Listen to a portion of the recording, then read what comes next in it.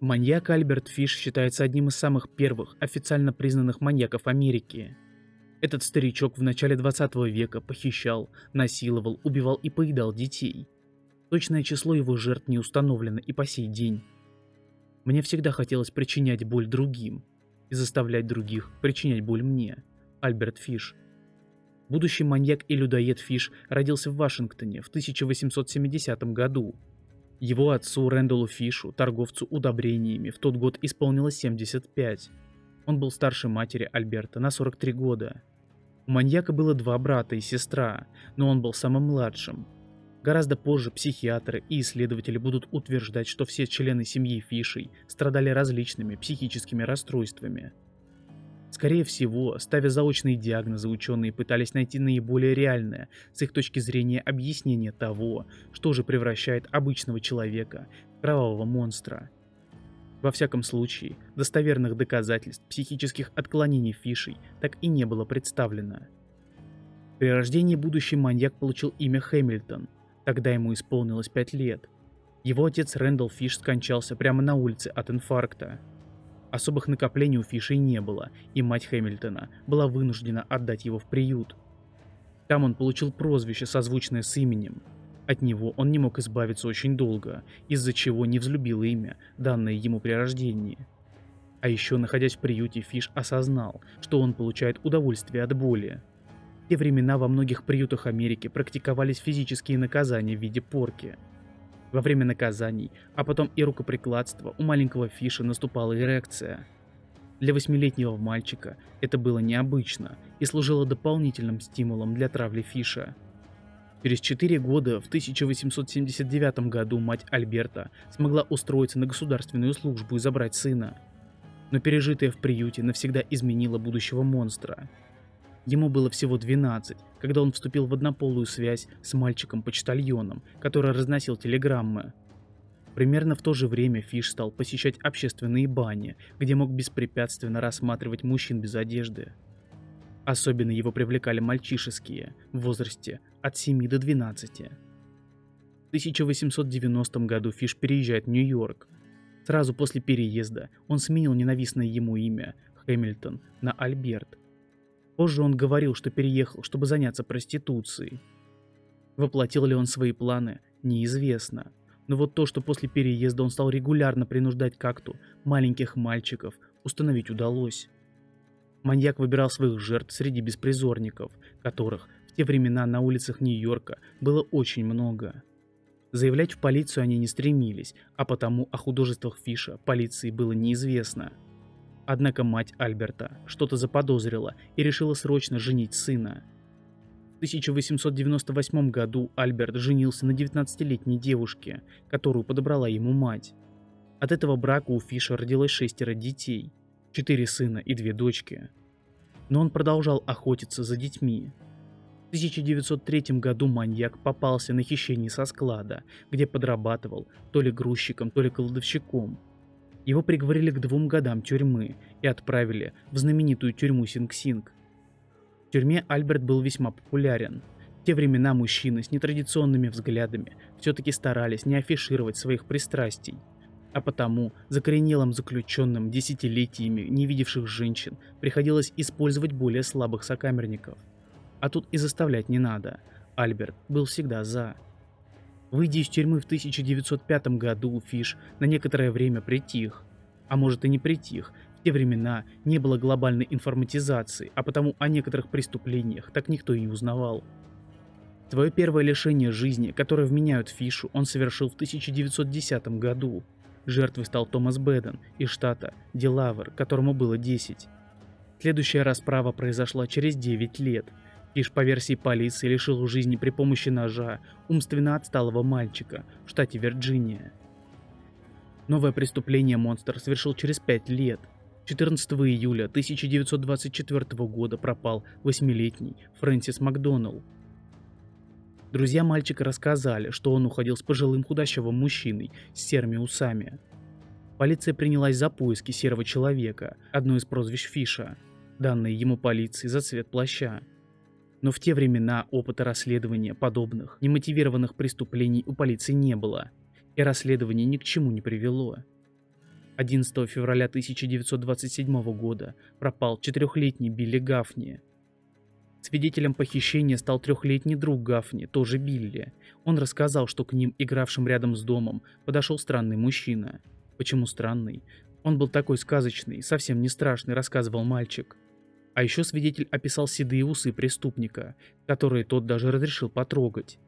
Несомненно, что сегодняшние полицейские прицепились бы к седым усам и смогли бы связать эти уточнения. Но сказался опыт тогдашних полицейских. Самое известное похищение и лишение жизни маньяк совершил в июне 1928 года. 18-летний Эдвард Бат подал объявление в газету о поиске работы в сельской местности и указал свой адрес. Туда и пришел 58-летний Фиш. Вполне возможно, он хотел похитить молодого человека – Однако, когда пришел, то увидел десятилетнюю сестру Эдварда, Грейс, и его планы изменились. Он провел у Бадов несколько часов, пообещал нанять Эдварда и ушел. Вернулся, как и обещал, через пару дней. Заявил, чтобы Эдвард собирал вещи, а он зайдет за ним позже. А пока Эдвард будет собираться, Фиш, он представлялся фермером Фрэнком Говардом и убедил родителей Грейс отпустить ее с ним на праздник – Мол, у племянницы, что живет не очень далеко, как раз день рождения. Доверчивые бады отпустили девочку и больше никогда ее не видели. Кстати, через два года после исчезновения Грейс полиция арестовала некого Чарльза Эдварда Поупа. О том, что именно он похитил девочку в полицию, сообщила его жена. Поупа на 4 месяца засадили за решетку, но на суде его вину доказать не удалось. Зато выяснилось, что Поп собирался развестись со своей женой и даже съехал из общей квартиры. Женская месть. А через шесть с половиной лет после исчезновения Грейс в ноябре 1934 года ее мать Делия получила анонимное письмо.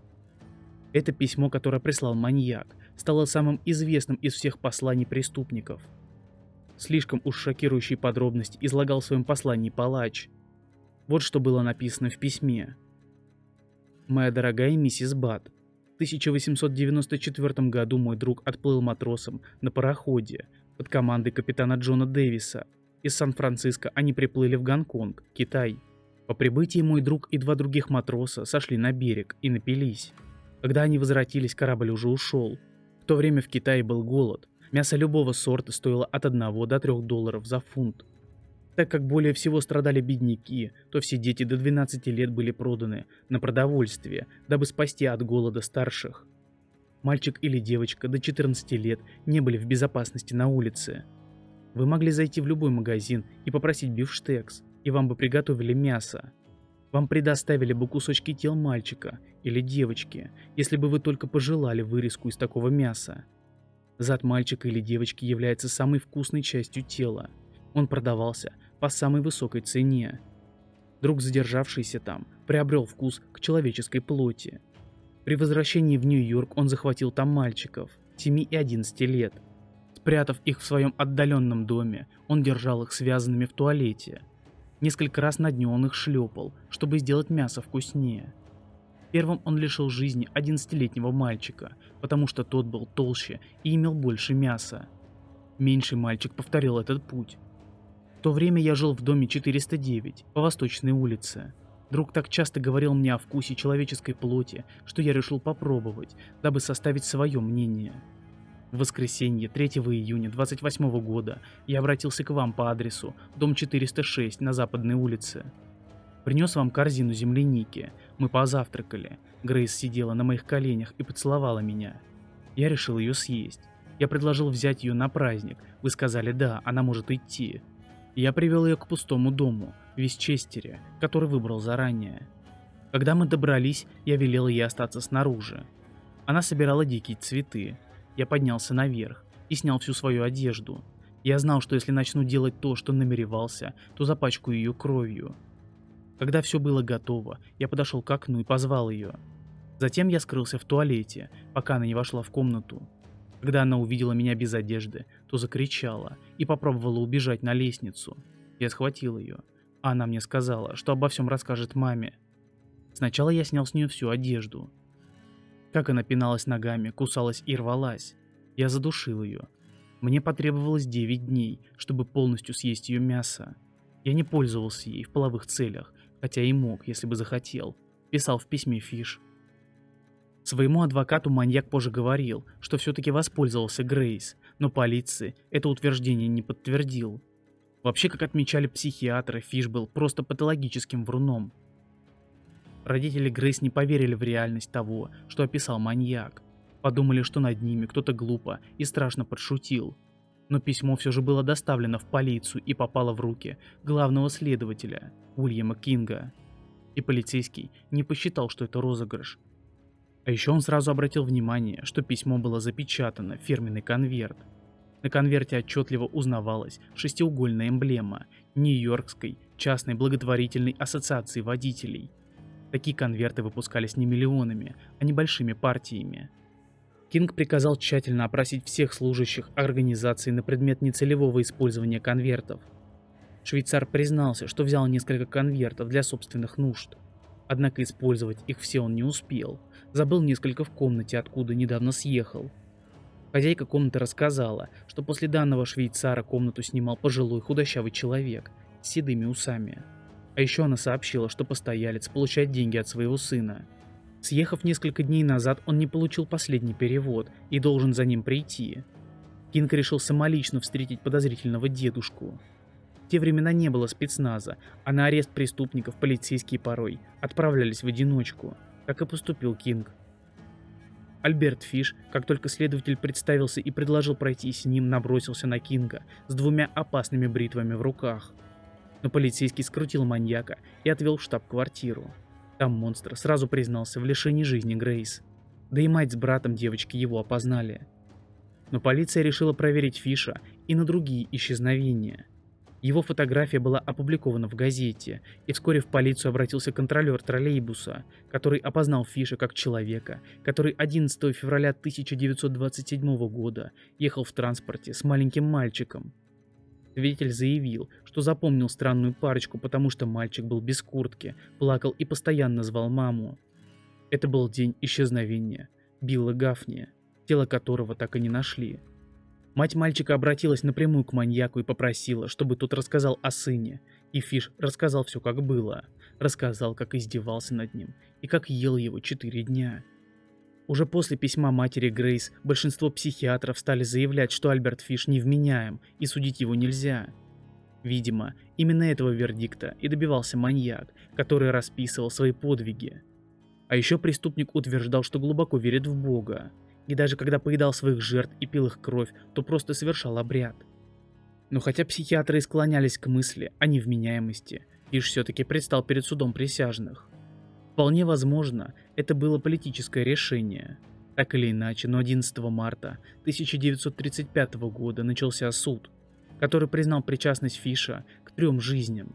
Полиция обвиняла его в 15, а сам преступник признался в 498.